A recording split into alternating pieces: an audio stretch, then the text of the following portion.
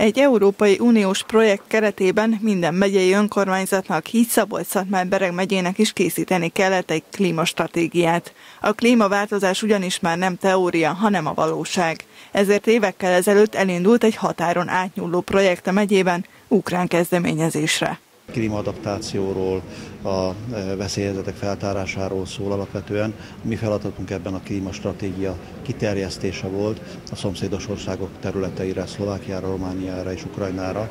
Így ilyen módon a megyei klímastratégiát, ami rendelkezésünkre áll, kibővítettük a szomszédos e, e, területekre is, határon átnyúló területekre.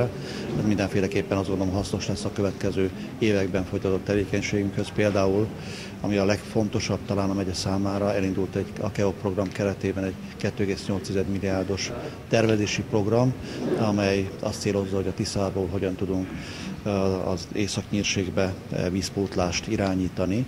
Ráadásul ez már nem csak a koncepció kialakításánál tart, hanem a megvalósításnál. A Geoses projekt olyan fejlett technikákat integrál koordinált és innovatív módszerek alkalmazásával, amelyekkel értelmezhetőbbé válnak a Tisza mentén keletkező talajdeformációk és azok környezetre gyakorolt hatásai.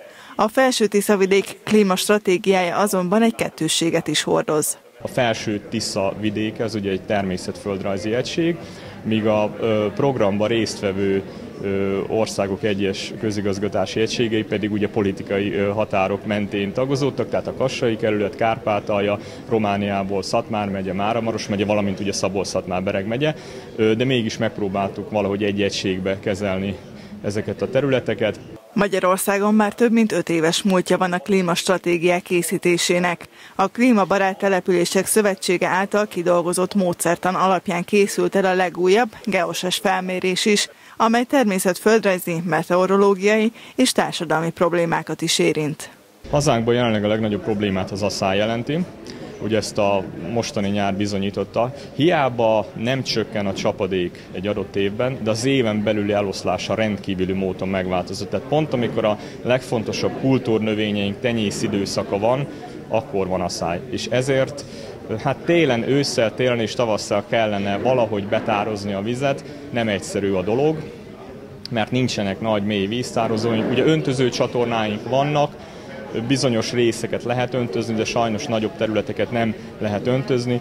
A megoldás talán az lenne, hogy a, a, azokat a tavakat, amelyeket lehetséges feltölteni vízzel, és bizonyos ártéri területeket esetleg visszaengedni a folyóknak, hogy a talajvíz szintet esetleg megemelnék. Például a nyírségben a 60-as évekre fejeződtek be a nagy lecsapolások, az úgynevezett nyírvízlaposok lecsapolása, és ezáltal a nyírség jóval szárazabbá vált, mint amilyen volt a 60-as évek előtt. A másik probléma a Tiszán hazánkba érkező hulladék, amelynek már nem csak a felszínen van észrevehető nyoma. Hordalékkal megtelve lesüllyednek a meder aljára, így az összegyűjtésük is egyre nehezebb feladat.